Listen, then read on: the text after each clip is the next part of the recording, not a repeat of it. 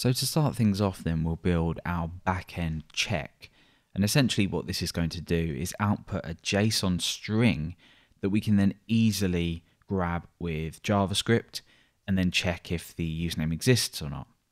So essentially what this check.php page is going to be doing is it's going to be returning something like the following. So it will be uh, brackets like this, it will have exists here, and then it will have a true or false value. So inside of our browser, we can head over to that file and we see here exists true. I'm using a plugin for Chrome which shows me um, a nicely formatted JSON object here.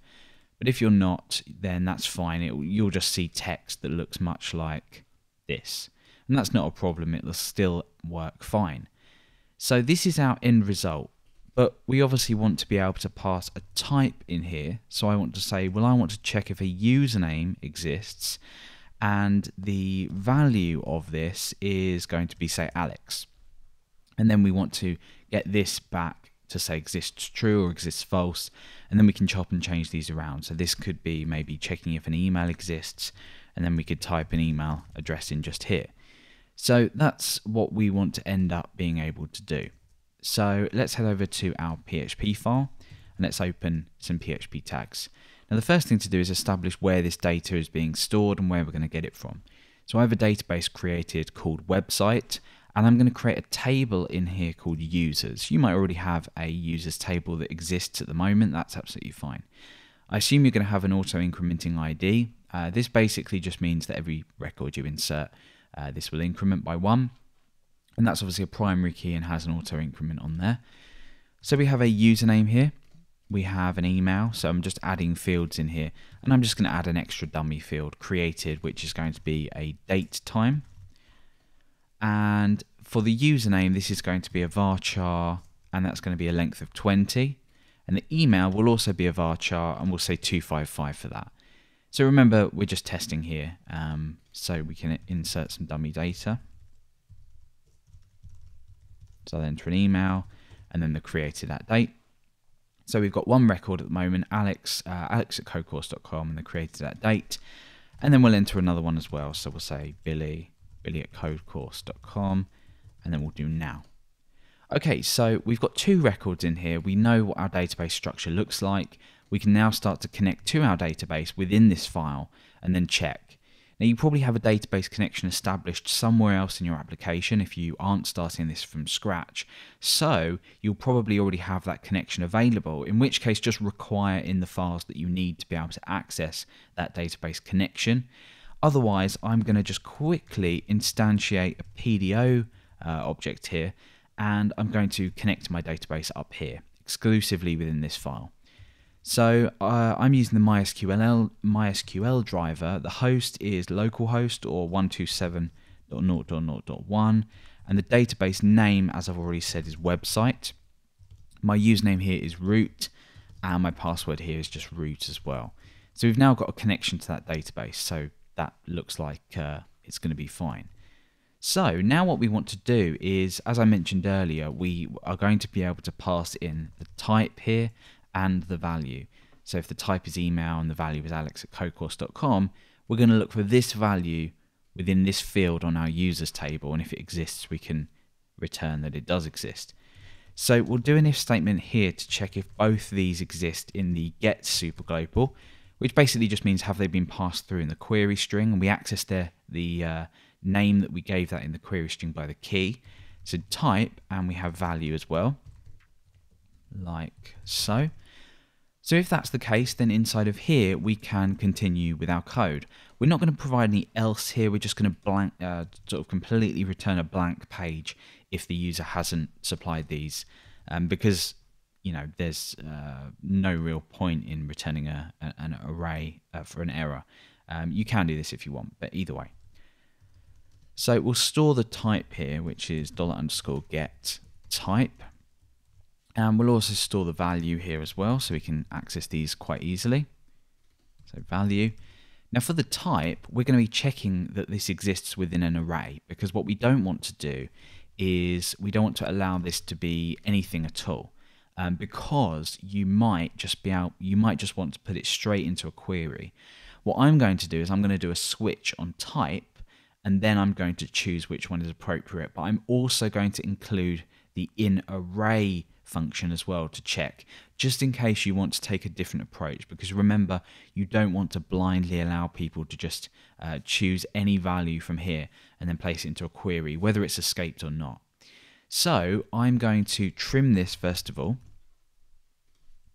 And I'm also going to trim the value as well. All this is doing here is it's removing white space from the left and the right hand side of these strings.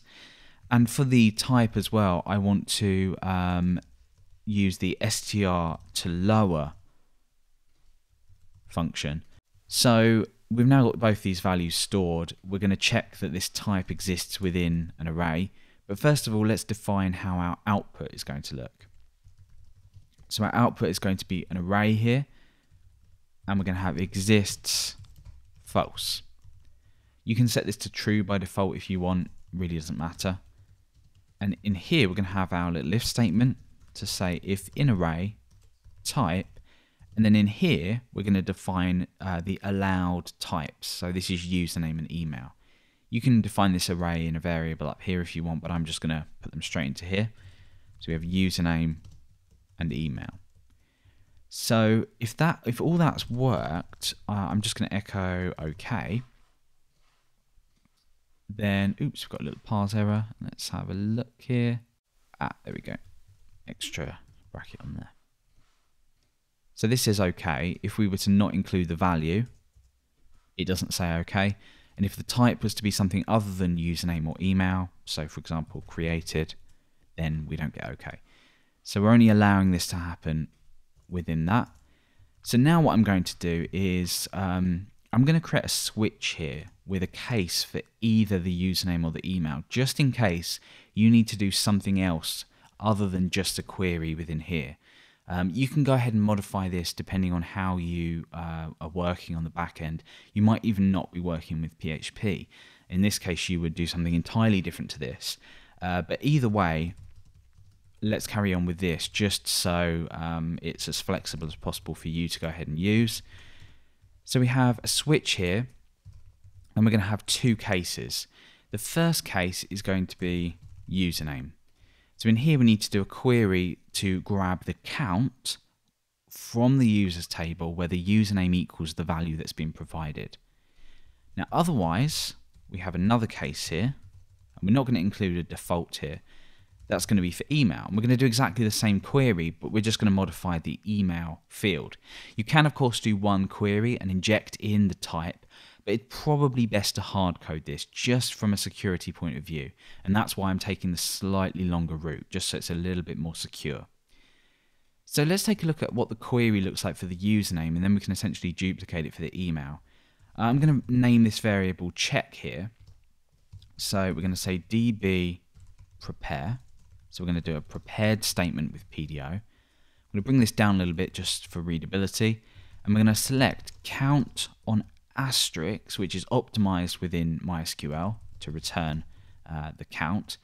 And we're going to alias this using the as keyword as count. So we can access that as a property when we fetch the object.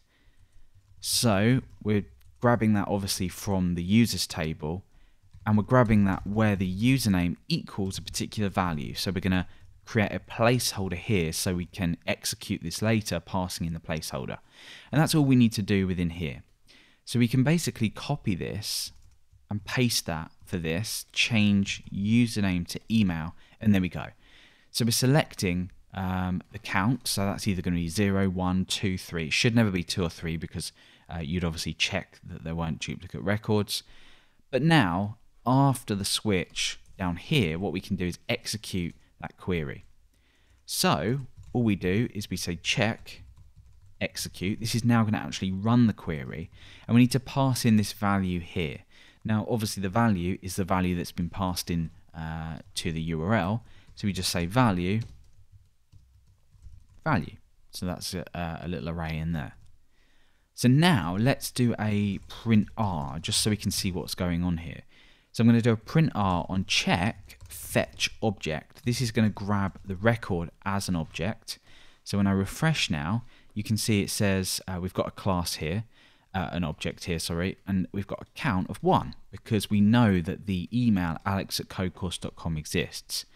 If, for example, we were to change this to username and we wanted to check if the username Dale exists, we get a count of zero because we know that inside of our database we don't have a, a username called Dale.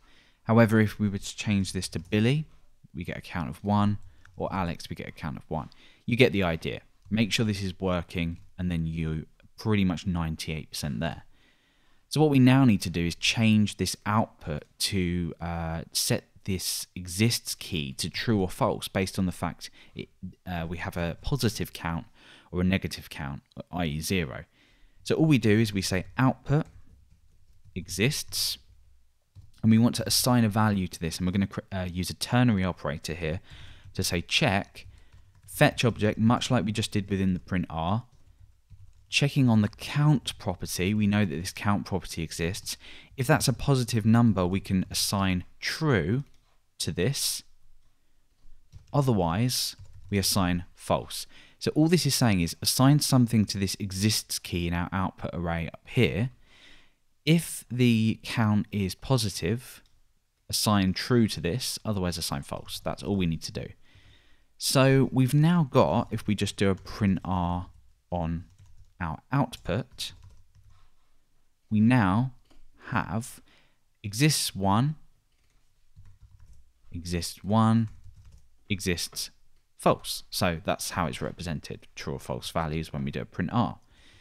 But that's not good enough because this is going to be really difficult to uh, pick up with our JavaScript front end as the user's typing. But what we need to do now is uh, use the JSON encode function to basically take out array and encode that so it, it turns into a JSON string. So we echo JSON encode output like so. So JSON, if you're not aware, stands for J uh, JavaScript Object Notation, and it's basically uh, just a uh, data interchange format. So it just means that we, within JavaScript now, we can pick up this exists key by doing data.exists, checking that equals false. Uh, jQuery will automatically parse this JSON string for us and convert it into a, or parse it to a JavaScript object. So we then have the exists property that we can check this value being true or false. So obviously this is now working. We've now completely done the back end. This is all the code that we need. You can go ahead and modify it depending on uh, how your application works. But now what we can do is we can focus on building our form, creating our JavaScript file, linking that in, and actually putting all this functionality together.